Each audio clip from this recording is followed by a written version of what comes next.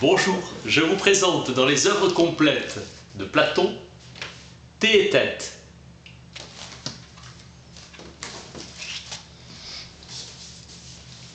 Thé et tête ou de la science?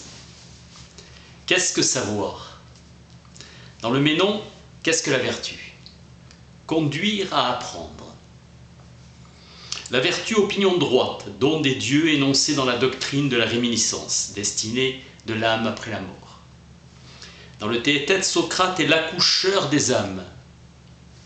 La science n'est pas autre chose que la sensation. Opinion vraie accompagnée d'une définition. L'opinion vraie, la maïotique, est étrangère à la réminiscence, contredit le mythe. L'âme, au fil du temps, apprenant tout.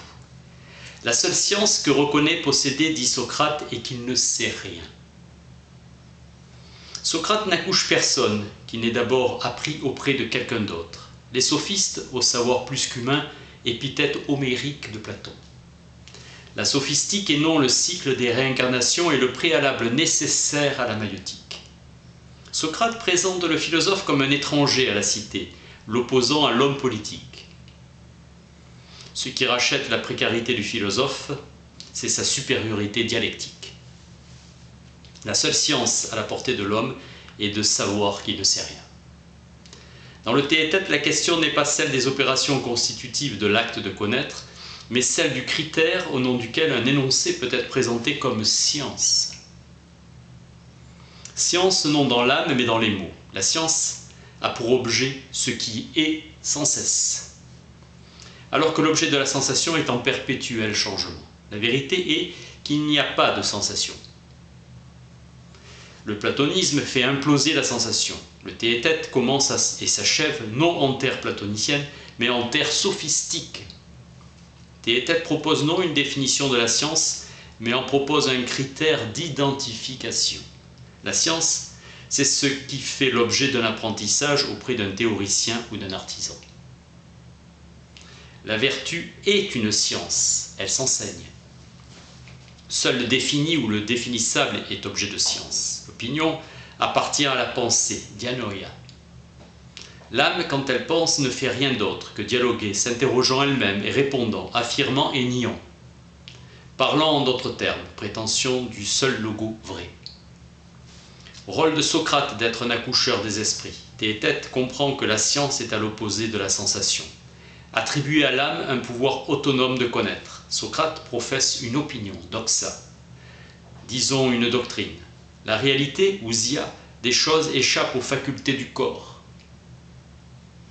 La sensation n'ayant pas la réalité pour objet ne saurait prétendre être science. Socrate démontre que non, seulement il existe des objets intelligibles dont la connaissance est non sensible, mais qu'il n'est pas de science que de tels objets, intellection venant de la sensation et de l'opinion. Difficulté insurmontable pour un proto-protagoréen de définir l'erreur, car pour lui, les opinions sont toutes vraies. Définition de la science de tête, mais cryptée, lien entre science et vérité. La source de l'erreur sur un objet n'est pas l'ignorance de cet objet, mais la science qu'on en possède soi-même, la science qui appartient à soi. La connaissance de soi, vieux précepte delphique et ainsi pas croire qu'on sait ce qu'on ne sait pas, savoir qu'on ne sait pas. La science, c'est de savoir que la science nous échappe. Le texte de l'ouvrage paraît être la transcription de la conversation, et le lire, c'est comme y assister, style direct, unique dans l'œuvre de Platon. Nous sommes à Mégare, et écrit par Euclide. Le narrateur n'est pas l'écrivain. Platon se nomme deux fois dans son œuvre. Une fois dans l'Apologie, il était prêt à payer une amende pour Socrate, et une fois dans le Phédon, pour signaler qu'il n'était pas là, et n'a donc pas assisté à ce dont il écrit le récit. Transcription complète de l'entretien. Euclide demeurant, demandant à Socrate certains de ses souvenirs. Étonnant car Socrate jette dans le Phèdre le discrédit sur l'écriture, car elle se substitue à la mémoire. Déchargeant l'esprit du soin de conserver le souvenir. L'écriture en réalité favorise l'oubli. Euclide a préféré soulager sa mémoire. La mémoire d'Antiphon, au contraire, est intacte, mais insuffisante à entretenir chez lui le désir de sagesse. La mémoire n'est pas préférable en soi à l'écriture, ni l'écrit toujours inférieur à l'oral. Nuance sur la condamnation de l'écriture. Socrate, plutôt de changer ce discours, répète toujours la même chose, il préfère perdre la vie. Socrate apparaît dans Platon comme un discours personnifié. Xénophon, lui, nous livre des souvenirs sur Socrate et s'avouant ainsi l'auteur de ce qu'il écrit et veut faire savoir à quel point Socrate, par ses discours comme par ses actes, était utile à ses amis. Ce Socrate exprime sa pensée. Le tête par contre, est presque dicté par Socrate. Il guide la plume d'Euclide, autoportrait. L'écriture du philosophe ne saurait aucunement être dite éphémère et stérile. Le philosophe qui écrit thésaurise ses souvenirs pour lui-même ou pour quiconque qui suit la même trace. Imiter par écrit le caractère improvisé de la parole. Écrire comme on parle. Socrate avoue dans le Ménon manquer de mémoire. Socrate de toute façon n'écrit pas du tout. Il, faut valoir, il fait valoir contre Protagoras les faiblesses de l'écrit et par truchement du scrupuleux Euclide. Socrate se corrige lui-même et se fait dire ce qu'il doit. Dans le Phèdre, il dit ce qui protège l'écrit des hasards de la lecture, c'est de se tenir à l'écart de toute improvisation. Rôle de composition de Socrate dans le Théétète. Théodore est de Cyrène, Athènes est pour lui un séjour provisoire. Il a du succès avec ses auditeurs sur la géométrie. Pour Protagoras, c'était l'art de parler. C'est un ami de Théodore, ainsi Théodore est le Protagoras de la géométrie. Socrate l'aborde. Théétète est élève de Théodore. C'est plutôt un jeune Athénien prompt à profiter des leçons d'un sophiste de passage, et non un disciple qui suit le maître dans ses pérégrinations. Théétète est exceptionnellement doué. Socrate ne quitte jamais Athènes, sauf pour la guerre, et se met au courant dès son retour. Il demande à Chrysias quels sont les jeunes gens remarquables maintenant qui méritent attention? Théétète a déjà entendu des Socratiques, ceux qui parlent à la façon que toi tu prescris. La laideur physique de Socrate contraste avec l'attraction qu'exerce un esprit associant de manière insolite des qualités qui d'ordinaire s'excluent mutuellement. Alcibiade dans le banquet. La laideur de Théétète est telle qu'elle n'éveille pas le désir. Théodore voit une ressemblance physique avec Socrate. À la différence de Socrate, Théétète n'a rien de personnage érotique, ni ironique. Le désir circule à contre-courant des usages entre Alcibiade et Socrate, et lui reproche de se dérober au désir qu'il inspire. L'amour, dont la véritable nature est de n'être désir ni des corps ni même des âmes, mais des formes ou de la connaissance des formes. Socrate le renvoie à la véritable nature de son désir, le contraignant à se découvrir philosophe, amoureux non pas de Socrate, mais comme Socrate lui-même, de la sagesse.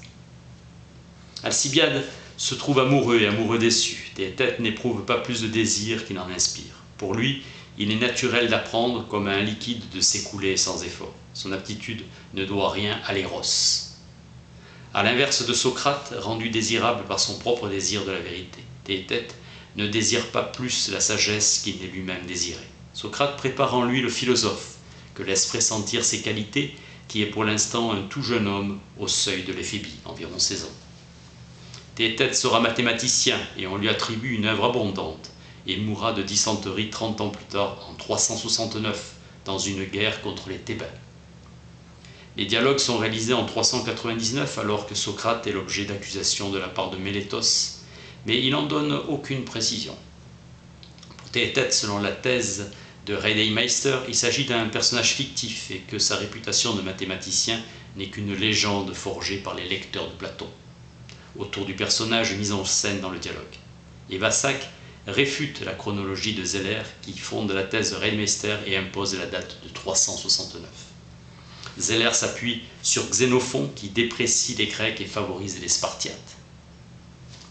Sac s'appuie sur Diodore de Sicile dont le récit est beaucoup plus détaillé et Théétète est mort d'une épidémie de dysenterie bêtement.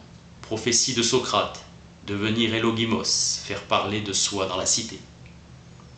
Socrate a pressenti en tête à défaut de trouver en lui un bon philosophe, il deviendra un grand mathématicien. La géométrie est décrite comme la propédeutique à la dialectique, discipline où l'on apprend à traiter la sensible comme l'ombre ou l'image de l'intelligible, où l'on découvre que la réalité, c'est l'intelligible, que nul n'entre ici s'il n'est géomètre. Théodore géomètre, Théétète, élève prometteur fait figure de candidat idéal à l'entrée dans l'école platonicienne. Socrate réfute l'équation science égale sensation pour obtenir science égale intellection. Reconnaître l'existence d'objets inaccessibles au sens, objets que l'âme ne peut pas par conséquent connaître que par elle-même et sont seulement intelligibles. Théétète demeurera obstinément sourd et proposera seulement de remplacer la sensation par l'opinion vraie accompagnée d'une définition. Son aptitude à apprendre aussi bien qu'à chercher ne lui fait faire aucun progrès vers l'intelligible. Pour Platon lui-même, il ne va pas de soi que toute géométrie prépare à la dialectique, où il n'est pas vrai qu'il suffise d'être géomètre pour devenir philosophe. Certains, dépourvus d'intelligence, ignorent la subordination de la géométrie à la dialectique. Platon range Théodore parmi ces géomètres dédaigneux de la dialectique. L'ambition du philosophe n'est pas d'atteindre le summum des capacités humaines, mais de s'assimiler à un Dieu. La géométrie platonicienne toute tendue vers un voir et contemplation les figures sont accessoires dans la philosophie platonicienne. Ce qu'ils cherchent à voir, ce n'est pas ce qu'ils construisent, et ainsi ils font véritablement des discours, démonstrations. Preuve par construction, preuve d'incommensurabilité. À cette époque, en matière de nombre, on ne connaît encore que des entiers positifs, il n'y a rien entre 3 et 4. Théodore déclarera avoir préféré passer des simples paroles à la géométrie. On enseigne encore aujourd'hui que l'on ne peut faire de bonne géométrie qu'avec des figures. On ne peut faire de bonne géométrie avec des figures fausses projet annoncé de rassembler dans une unité la multitude infinie des puissances, passant ainsi de la géométrie sophistique à celle platonicienne. La méthode par hypothèse prouvant que la vertu s'enseigne. La science s'est rassemblée dans une unité. On peut faire varier les objets de la science, changer de science sans que varie ce qu'est une science. L'irrationalité apparaît comme la propriété spécifique des puissances. Théétète observe que les puissances sont infinies en nombre réalisme égal platonisme, ou réalisme platonicien, qui suppose que les objets idéaux des mathématiques sont semblables aux objets sensibles et qu'ils sont perceptibles par l'intuition intellectuelle. À Popper, l'idée selon laquelle l'élargissement de la notion de nombre aux quantités irrationnelles s'est fait par voie géométrique, par une géométrisation de la notion de nombre. Euclide, l'auteur des éléments, systématisa de nombreux théorèmes d'Euxode, de Dox, pardon et en perfectionna beaucoup de thétètes. Une version arabe attribuée à Papus indique que la théorie des irrationnels, d'origine pythagoricienne, fut développée par Théétète et plus tard Apollonius, ajouta à ses découvertes d'admirables théories. L'importance d'Albert Einstein dans l'histoire des théories physiques est-elle diminuée par le fait que Bergson a jugé inconsistante la théorie de la relativité au regard des exigences de sa propre philosophie de même Platon sur Théétète? Platon prend congé dans cet ouvrage à Socrate, dernier dialogue socratique. Platon affirme l'unité du personnage de Socrate, comme au début dans l'Apologie.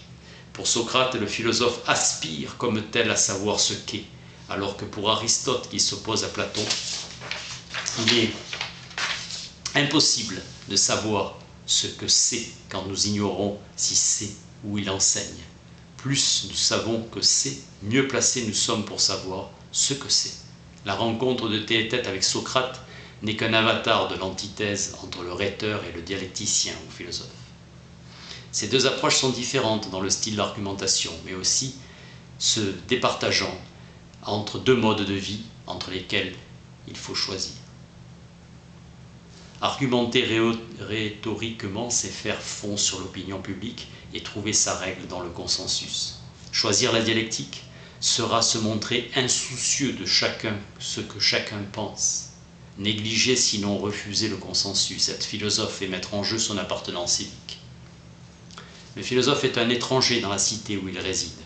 Déclaration de non-citoyenneté par laquelle Socrate va ouvertement au-devant de sa condamnation. La philosophie est aspiration au savoir, refuse la rhétorique et fuit les lieux où elle se pratique. Se rendant à son procès, il y va en connaissance de cause, car il vient de faire ce qu'on lui reproche, corrompre, littéralement détruire les jeunes gens. Embarras qu'il suscite chez ses interlocuteurs de son usage de la dialectique. Il réclame le secret à Théétète, c'est se conduire en coupable. Socrate ne recherche plus d'accommodement avec Athènes. Le philosophe est à la cité ce que le pilote est au navire. C'est dans la République qu'il faut aller chercher la vérité. La dialectique est questionner, répondre, donner et recevoir, échanger des arguments, s'élever jusqu'au principe du tout, jusqu'à cela même qui est bien au bien en soi. La dialectique, c'est ce qui permet de s'élever. Le philosophe décrit par Socrate est un dialecticien redoutable qui tire vers le haut. Dialecticien et rhéteur dont les archétypes platoniciens du conflit entre Socrate et Athènes. La dialectique se pratique entre amis ou avec un ami. On ne discute pas comme avec un adversaire, caractère amical de la dialectique. La dialectique se règle sur le sens plutôt que sur les mots, sur l'esprit plutôt que sur la lettre, sur ce que pensent les interlocuteurs plutôt que ce qu'ils disent, différent d'une discussion héristique.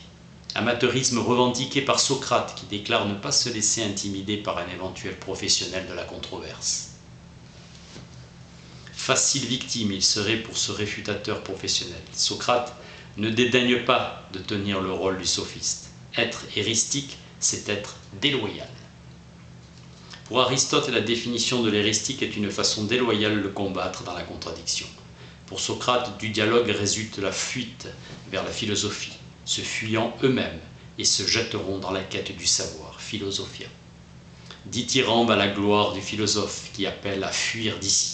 Socrate accule l'adversaire à l'autocontradiction, règle même de la réfutation. En professant la vérité de toute opinion, Protagoras est obligé d'admettre pour vrai l'opinion que la sienne est fausse. Socrate occupe la position du sophiste et contraint l'autre à venir occuper la sienne. Sextus Empiricus parlera plus tard d'une péritrope, mouvement de deux partenaires qui échangent leur position, mouvement tournant. Démontrer n'est pas polémiquer, modèle pour une discussion.